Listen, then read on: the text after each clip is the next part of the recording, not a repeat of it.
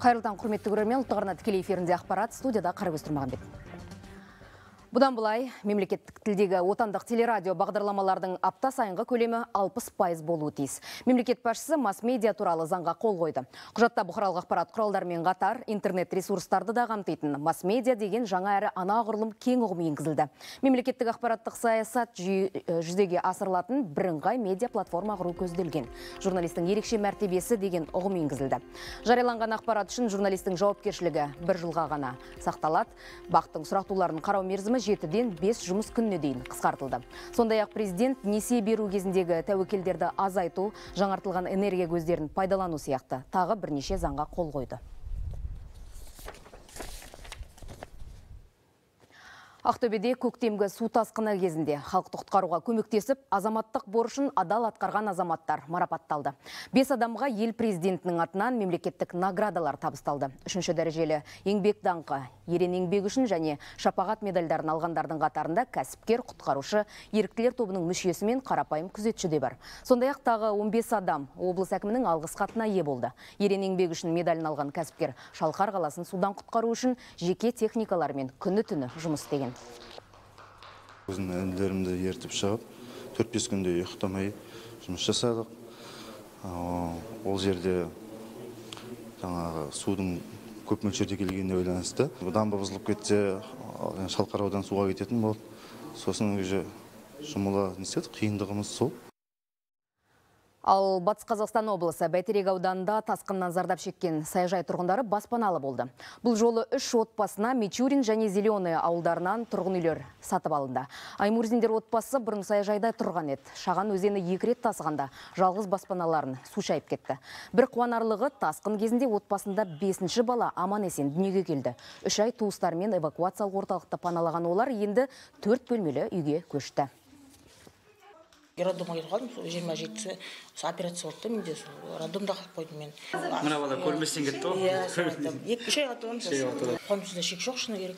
Осылай үлкен үйге алғанымызға сулар бар қатты су тасымайсың. Анда біздер су тасып отырмық па енді. От жақпаймыз анда от жақтық біздер енді. Мында газ бар әйтеуір бәрі условиялар бар.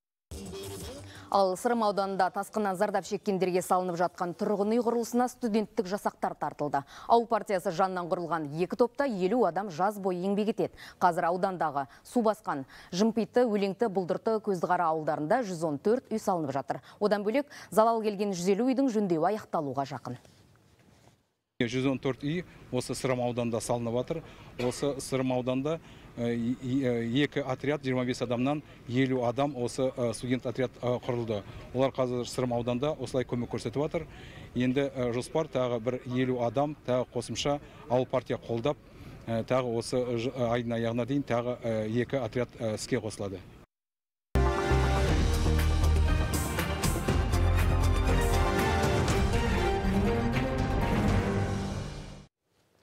Әл-Фараби атындағы Қазақ ұлттық университетінің аумағында 17 жастағы бозбала қаза тапты. Оқиға білім ордасындағы су бұрқақтың жанында болған.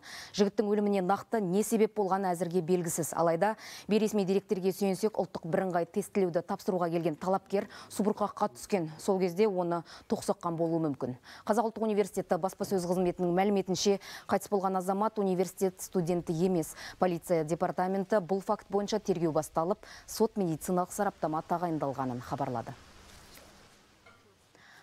әйелін ұрды деп айыпталған Атырау облысы Махат ауданының экс-әкімі Ринат Ибрагимовқа екі жылға бас бостандығына шектеу жазасы тағайындалды. Осы уақыт аралығында ол пробациялық бақылауда болады. Сондай-ақ ол әйеліне 2 миллион теңге көлемінде өтемақы төлеуі тиіс. Ал облыстық мемлекеттік еңбек инспекциясы басқармасының бұрынғы білім басшысы 4 жылға сотталды. Оған кәсіпкердің ақшасын алаяқтық жолмен жымқыруға оқталды және өндірісте екі қызметкердің өлімін жасыру мақсатында тұлғаларды пара беруге ит итермеледі деген айып тағылды. Кәсіпкерлердің дайын бизнесін тартып алғандар меншік иелеріне қайтаруы тиіс. Мәжіліс депутаты Ерлан Сайыров үкімет басшысы мен бас прокурорға осындай сауал жолдады. Депутаттың дерегінше 2000 жылдары біреудің дайын кәсібін күшпен тартып алу оқиғалары жиі тіркелген. Енді зардап шеккен кәсіпкерлер мен олардың туыстары бизнес пен мүлікті өздеріне қайтаруды талап етіп отыр. Тартып алған кәсіп түрлерінің қатарында мұнай базасы, жанар жағармай станциясы, демалыс орындары, қонақ үйлер мен ауыл шаруашылығы кәсіп орындары бар демократия мен нарықтық басты принципі жеке меншікті қорғау аксиомасы. Ешкім адамдардың тапқан таянғанына қол соғуына хақы жоқ. Сондықтан бас прокуратура аталған азаматтардың экономикалық мүдделерінің сақталуына нақты қадамдар жасап олардың мүлкін өздеріне қайтару жөніндегі нақты жұмыс жасауы тиіс. Қарағандыда қызметтік борышын өтеу барысында қаза тапқан Қайрат Жұмабековті жерлестері еске алды.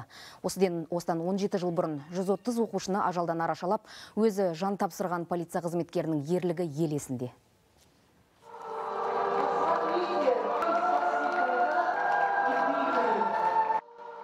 Бұл балалар сол кезде небәрі бесінші алтыншы сынып оқушылар еді. Бүгінде барлығы ер жеткен арасында отбасы құрғандары да бар. Осы кешті ұйымдастыруға түрткі болып марқұмның артында қалған отбасына өз алғыстарын білдіруде. Қайрат жұмабековтің артында екі баласы қалды. Тұңғыш ұлы әке жолын жалғап бүгінде полиция қызметкері болып еңбек етіп жатыр. Әкемнің ерлігі туралы айта кетсек азаматқа сай істеді. Кішкентай кезімнен бастап полиция қызметкері болуды армандадым. Ә, өзіме мақсат қойдым. Қазіргі таңда мақсатым орындалды. Батырдың ұлымын деген мен мақтан етемін. Мен әкем осындай ерлік жасағанына ә, менің ойымша әрбір азаматтың қолынан келе қоймас Биыл күзде Астанада өтетін бесінші дүниежүзілік көшпенділер ойындарының Түркияда жарнамасы басталды. Стамбулда орталық даңғылдардың біріне көшпенділер ойындарының түрік тіліндегі баннері ілінді. Екі жыл бұрын Түркияның Изник қаласында өткен көшпенділер ойындарынан кейін жергілікті тұрғындар тарабынан бұл жарысқа қызығушылық жоғары. Жақында Стамбул қаласындағы халықаралық этноспорт фестивалі кезінде де Астанада өтетін ойындар арнайы таныстырылған болатын. Kaçırdık. алдыңғы жылы түркияда өткен көшпенділер ойындарына бара алмай қалған едім. Енді мына жарнаманы көріп астанадағы ойындарға барсам деп жоспарлап отырмын. Өзім түркиядағы ең ірі мотоцикл жүргізушілер одағының басшысымын. Бұған дейін орта азияға мотоциклмен барған едім. Енді балаларымды алып көшпенділер ойын көруге бармақпын. Өзім ат спортын ерекше жақсы көремін. Бұған дейінгі өткен барлық көшпенділер ойындарына бардым. Биыл астанада өтетін ойындарға да баруды жоспарлап отырмын. Өзім ұлттық дүниелерді жақсы көремін. Реті келгенде осындай ұлттық киімдерімді киіп жастарға насихаттап жүремін. Келесі аптада 33-ші жазғы Париж Олимпиадасының ойындарына жолдама беру тоқтайды. Яғни маусым аяқталғанда қай спорт түрінен кімнің жарысқа баратыны белгілі болмақ. Ұлттық құрамада толық жасақталып бітеді, ал қазір біздің елдің спортшыларының еншісінде 71 лицензия бар. биылғы байрақты бәсеке спорттың 32 түрінен өтіп 329 медаль жиынтығы сарапқа салынады франция ұйымдастырушы ел ретінде олимпиада бағдарламасына брейк-дэнс скейтбординг серфинг және құзға өрмелеу спортын қосты. Ә, қазақстандық спортшылар әзірге спорттың 22 түрінен 71 жолдама жеңіп алды. Төрт жылдықтың басты бәсекесінде 68 спортшы ел намысын қорғайды. Атлеттердің 63 пайызы бірінші рет олимпиада ойындарында бақ сынамақ ең жас спортшы 17 жастағы таэквондошы батырхан төлеуғали болса жас үлкені мария дмитренко стенд ату бағдарламасының трап түрінен жүлдеге таласатын мерген биыл 36-ға келеді. Олимпиаданың ең көп квотасын шымкент пен астана қаласының спортшылары жеңіп алса одан кейін алматы қаласы тізімді шығыс қазақстан жетісу және түркістан облысының атлеттері жалғайды. Ұлттық құрама спортшылары әлі спорттың бес түрінен жолдама алуға мүмкіндігі бар. Ол жеңіл атлетика жүзу жағажай волейболы брейкденс спорттық құзға өрмелеу. Кейбір спортшылар рейтинг қорытындысын күтсе енді бірі іріктеу турнирлерінде барын салады. Крейсон нилсон сараптамалық агенттігінің сарапшылары олимпиадаға мынадай болжам жасапты. Қазақстандық спортшылар 10 медаль жеңіп алу мүмкін екен. Атап айтқанда екі алтын бір күміс жеті қола. Осылайша ұлттық құрама жалпы командалық есепте 26 орынға ие болуы ықтимал. Министрліктің де тұжырымы осыған ұқсас.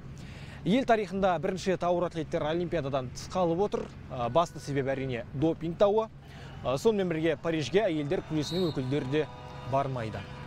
Асылбек данияр сұңқарбек қайсин қазақстан ұлттық арнасы астана Құрметті көрермен әзірге айтарымыз осы, алда ауа райы болжамы амандықта жүздескенше.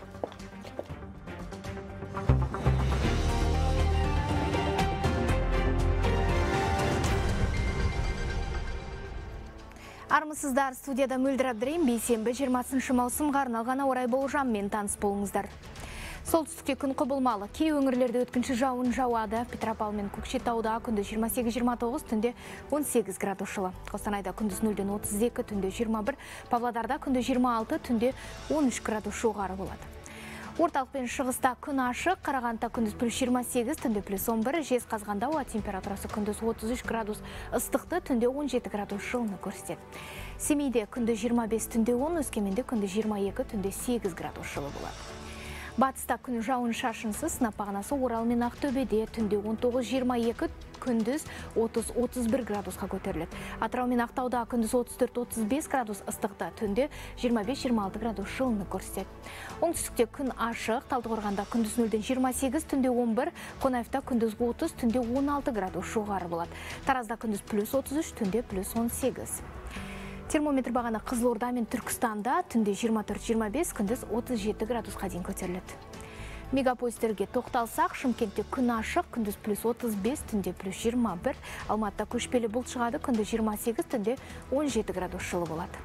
Астанада күн ашық, ауа температурасы күнде 29 градус ыстықты, түнде 14 градус жылыны көрсетеді. Назарларыңызға рахмет, ұлттық арна қосылы болсын.